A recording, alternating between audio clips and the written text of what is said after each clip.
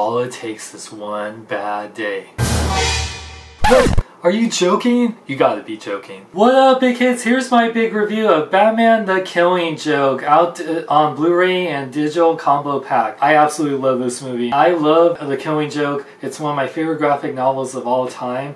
I love this comic for like over two decades. And how does this stack up to the graphic novel? Well, it's a masterpiece. It is pretty much a straight adaptation. However, let's talk about the elephant in the room. The reason why is because it has a little backstory to Batgirl, explaining what happens to her before the killing joke. It explains the relationship with Barbara Gordon, Batgirl, and Batman. It shows how complex their relationship is and how she's trying to partner up with Batman, how they deal with working together. However, there is a pivotal scene in this that's really going to divide people where some people are going to hate it and some people like me are actually going to think, wow, this really adds a lot to the character. It doesn't make just Barbara Gordon a plot device for being crippled like in the original graphic novel. All I can say is when you get to this scene, just remember that both in the Batman Beyond cartoon and in the comics, they definitely have a relationship that was explored before. So to me, personally, those first 30 minutes really add a lot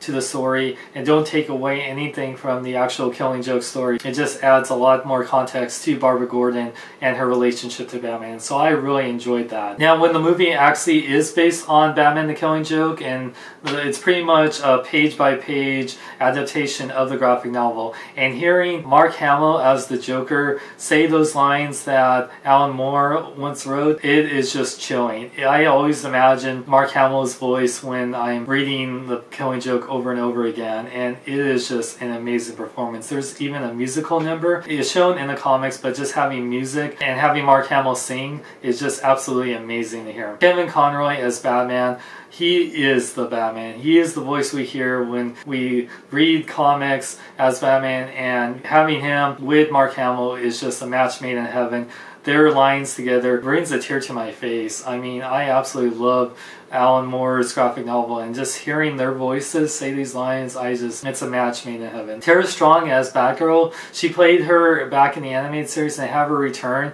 Uh, her performance was strong and complex, and I absolutely love Tara Strong. This is definitely one of my favorite roles. My second favorite Batman role to her, uh, Harley Quinn. Ray Wise as Commissioner Gordon, he had a lot of heart to the character, especially a man that's having one bad day. It really is a hard role to having a voice, something so traumatic, and he really does an excellent job. Overall, everything I absolutely love about the graphic novel is uh, in this animated film. The animation, even though it's not as beautiful as Brian Bolland's artwork, it's still beautiful animation. I love the fight scenes in Batgirl in the beginning, and just the overall animation from the uh, flashbacks with the Joker is just absolutely amazing. This movie is beautiful on Blu-ray. I love the sound, and there's a few special features I absolutely love. There's Batman the Killing Joke, The Many Sides of the Joker, which has everyone from Mark Hamill to many people from the film talking about the Joker and how the Killing Joke has influenced the Joker both in the Batman 89 film to The Dark Knight. Talks about how that's a pivotal story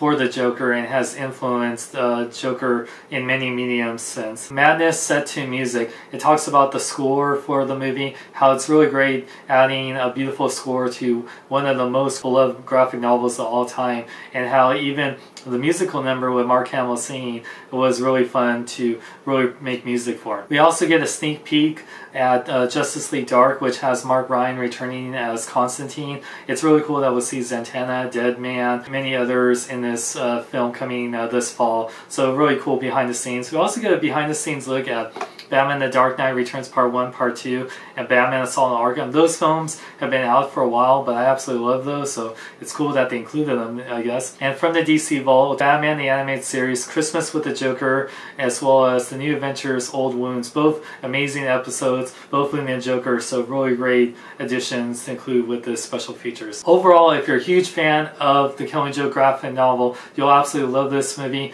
If you're really divided about the first 30 minutes, it's really how you feel about Barbara Gordon and uh, Bruce Wayne's relationship, but if you look past that and look at it as something that adds to the complexity of the story, you'll I think you'll love it. And I definitely recommend this for fans of Batman, the Joker, and especially the Mark Hamill Joker and uh, Kevin Conroy Batman. This is an amazing movie, and I give it a five out of five. So definitely recommend getting this. Between this and Suicide Squad, I think it's a great week for DC. Definitely don't listen around into me those. I love both of these films. So for more, check out my website at SeanXLong.com. Like me on Facebook, follow me on Twitter, Instagram, links in the description. I'm Sean Long. Remember, live long and love life. You want to hear a bad joke? What do you call a critic that has a bad taste for movies and vegetables? Rotten tomatoes.